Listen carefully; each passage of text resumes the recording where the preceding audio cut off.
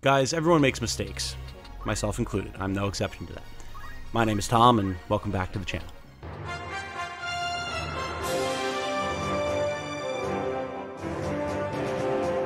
Hello, everyone. My name is Tom, otherwise known as Titanium Legman. And don't worry, this is not like a typical YouTuber apology, but I am a YouTuber, so I do need to ask if you enjoy my content, if you enjoy my coverage of strategy RPGs, regular RPGs, or anything else on the channel, a like and a subscription would be very much appreciated. So, what is this mistake that I have made? What did I do wrong in the eyes of the internet public, especially in the eyes of fans of Final Fantasy Tactics? Well, if you've seen my previous video, you know that I advocated fairly heavily for the nerfing of Orlandeau, Cid, the Sword Saint, the Thunder God himself in Final Fantasy Tactics The War of the Lions. In the eventual remake that I'm sure is absolutely coming around the horizon, please, Mr. Matsuno, don't prove me wrong, I advocated that Cid needed to be brought down. He's absolutely the most powerful character in the game. He breaks the game open over his knee. And to me, it's just not fun. For a lot of people, it is, but to me, it's not. And I think in a game that is as strategically oriented, you know, a tactics game tends to be, as Final Fantasy Tactics, getting a character near the end of the game that can completely bust the whole thing wide open kind of takes the punch out of what is supposed to be the grand finale of this grueling journey that you've gone through. A lot of you didn't like that, and I have to apologize because clearly I didn't double down hard enough on why I feel like Thunder God Cid Orlandeau, the Sword Saint himself, needs to be nerfed, not into the ground, but why he absolutely needs to be nerfed because he absolutely makes the game less fun, and I'm going to stand by that with proof today because you can still have Orlandeau nerfed and still have him be the most powerful character in the game and still fulfill his role as the Sword Saints. We're going to talk about it today. Bring your downvotes, bring your hate comments. I don't care. We're talking about it. Facts. There's three axes that we need to talk about today in terms of why Orlandeau is so busted. The equipment that he comes in with, his base stats, and his class. We're going to go through them in that order because I want to talk about the things that could be changed before we talk about the things that should not be changed. So, first off, Orlandeau's equipment. What makes Orlandeau's equipment so strong? What does he come equipped with? Well, it's pretty simple. He comes in with a full set of the strongest purchasable armor in the game, so he's got a lot of HP, very good defensive values with his shield. He comes in with a bracer, an accessory that gives him a whopping plus 3 to his attack, which is disgustingly strong and not really available at that point in the game unless you did some insane random battle grinding. And then he comes in with the piece de resistance, the Excalibur. And if you're at all a fan of anything to do with fantasy, let alone Final Fantasy, you know that a sword called the Excalibur is probably going to be disgustingly strong and it is absolutely the case that it's disgustingly strong here. It's got some of the best physical attack values in the game. It's a knight sword, so it's just naturally going to be better than regular swords. And, most importantly, it comes with a permanent haste buff. So, the character that it's equipped on comes into the battle with the haste skill, and will pretty much have that skill for the rest of the game so long as you leave the sword on them, which, as I'm sure you can imagine, is pretty nasty. This first axis, I don't see any need to change anything when you get a new character, if they come in with some fancy new gear that you don't have available to you yet, kind of a precursor of things to come that you might be able to buy soon or find soon, that's fun. It gives you the opportunity to get, get a little preview of what you're going to soon have on all of your characters, and it serves as a nice little step up in power when you might be struggling at a certain point in the game. You can take his armor and his gear if you want to, put it on someone else, one of your other favorite characters, or you can leave it on Orlandeau and just have him be extremely strong. Cool, that's good. I've had people who tell me that, oh, maybe the Excalibur should be nerfed. And I don't necessarily agree with that because the Excalibur, while it is Orlandeau's sword, is not exclusive to him. Right? If he was the only one who could wield it, if this was like a King Arthur situation and only the chosen one can wield the blade, then yeah, maybe that would be a vector for a change that would be warranted. But I don't think it is here because you can take it and you can put it on whoever you want. If you really love Agrias and you want her to have a permanent haste buff, take the Excalibur off Orlandeau and give it to her. That's fine. Nothing wrong with that.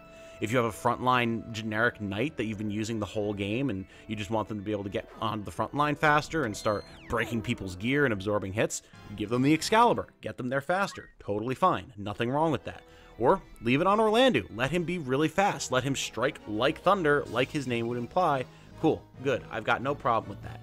The fact that it is a versatile piece of gear that you can put on anyone tells me that it doesn't need to be nerfed because you're in the late game at this point. You're finding rare gear, you're finding powerful stuff. The Excalibur is really, really strong, but it's not the only powerful piece of gear you're going to find by the time you beat the game. So I think that's fine. The second vector that we need to talk about here is Orlandeau's stats. And this is where the really definitive need for nerfs comes in. And this is the point that I think a lot of people tend to miss when I'm talking about why Orlandeau needs to be nerfed. Orlandeau's stats are outlandishly overtuned considering everything else that he has going on. Let's look at this here. Orlandeau has the best HP in the game. He has some of the best MP in the game for literally no reason because you don't need mana to use any of his abilities. He has some of the best speed in the game, which is insane. Yes, he's the Thunder God, I know, but he's also kitted out in full heavy armor and is a magical swordsman. Like, he doesn't need to be second only to, like, Mustadio for speed, but it's there. His physical attack is, like, the second best in the game after Reis in her dragon form, which, like, yeah, I would hope a normal human is not quite as physically strong as a literal dragon. And then his magic attack is rank B, which is still good and is still better than, like, a lot of other characters but is completely unneeded because your uh, skills all use your physical attack. Like, you don't, he doesn't need magic attack at all. He also has a natural 4 move, which in comparison to someone like Agrias, who's one of your more comparable points to look at, is one move higher than her for no reason. And you can start to get a picture here if you have any idea of how the game functions, or even just how tactics games function, why this would make him extremely strong. Yes, he's a legendary hero from the previous war. Yes, he comes in at a very late point in the game. But regardless, he comes in with such inflated stats that he puts all of your other characters who you've been spending so much time and attention raising to shame. As a point of comparison, with all those huge stats that Orlandeau has, let's look at Ramza, our hero. And no, Ramza does not need to be the strongest character in the game, but, like, when you get some, well, not some dude, because he's Thunder God Cid, but still, when you get a character that you just bring onto your team and he blows the hero out of the water, it's like, it's a little rough. So, as a point of comparison, Orlandeau beats Ramza in HP, MP, speed, and physical attack, and they're matched in magical attack. As another point of comparison, let's look at Agrias, who again is kind of the closest analog to Orlandeau that you're likely to have until we start talking about Meliadoul, which we will in a second. Orlandeau beats Agrias in HP, MP, speed, physical attack, and is matched in magical attack. And note, the only thing that Agrias has going for her that isn't kind of resoundingly average in terms of stats is her HP. Orlandeau still beats her in it. Let's look now at Meliadoul, shall we? Meliadoul, a Divine Knight, similar, again, to Orlandeau, is beat in HP, MP, Speed, physical attack, and magical attack, all axes. The only thing that she's equivalent to Orlandeau on is her move range, which is like whatever. It's alarming how powerful Orlandeau is, just in terms of stats. You could make Orlando into any class that you want, and he'll be better than most other characters at it. That feels wrong. Like when you get a character just handed to you for free that is able to blow every other character you have out of the water, that just doesn't feel good in a tactics game to me. To some of you, it might. And I can already hear the chorus of, well, just don't use him coming in. Don't worry.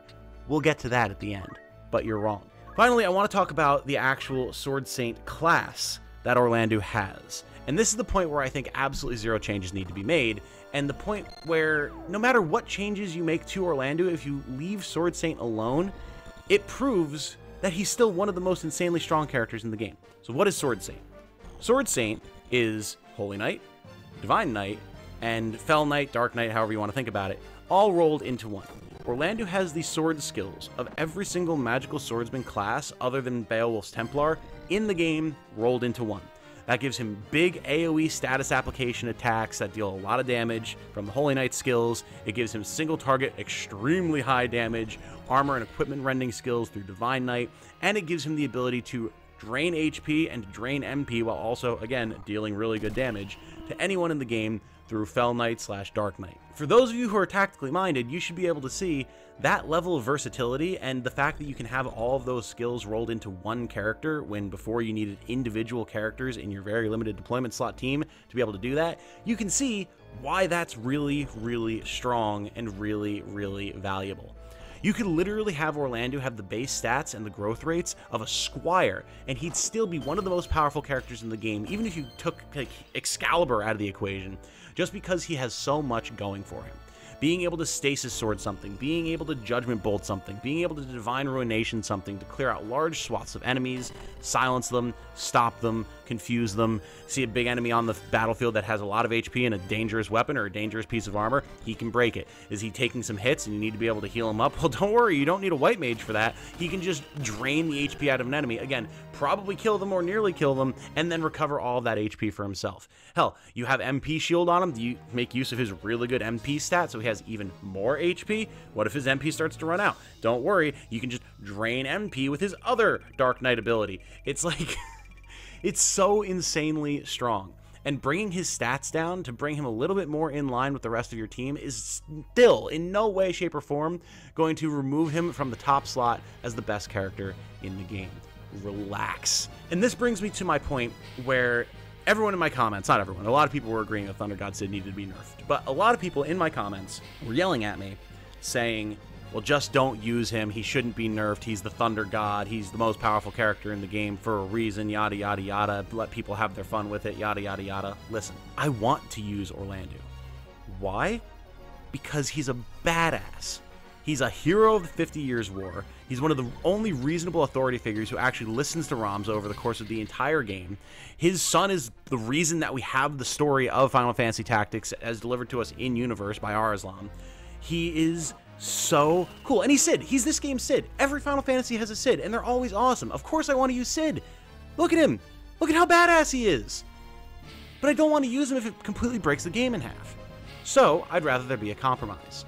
I'd rather his stats be brought down a bit so that he's still, again, the most powerful character in the game through sheer versatility and capability alone, but not have him feel like he just outclasses everyone else, when the entire rest of the game is about figuring out how to build up a team with the capabilities that you want, how to put different skill sets together to eke out as much power as you can, and start overcoming the challenge of the game. Not just say, well, I use this one character, he can solo the whole game, cool. Like, that's so boring, man. I don't care. I just don't care. It's just boring. I think it needs to be changed in the eventual Final Fantasy Tactics remake. So that's it. That's my double down. Um, again, bring your hate comments, bring your down votes. Got a lot of nasty people who were extremely offended that I wanted Thunder God Cid nerfed. I like truly degenerate, deranged things, and uh, I don't care. I don't care. I'm sticking to my guns on this because I'm right. And if you don't like that, I apologize, but I think it'll make a better game overall, and that's what I care about. I want Final Fantasy Tactics to be seen as the absolute epitome of any potential turn based strategy RPG, and changes like nerfing Orlandeau are making that a reality. Hopefully. Mr. Matsuno, please. Again, my name has been Tom, otherwise known as Titanium Legman. If you enjoyed this little bit of a rant and me bringing the evidence to back up my statements of why I believe that this is an important change, then again, consider liking and subscribing. There's plenty of turn-based strategy content to come. I hope that you've been enjoying what we've already done. With that said, going to call this one here. I hope you all have a good night. Thank you all so much for watching. Stay safe and healthy out there. And remember, be good to each other. Bye now.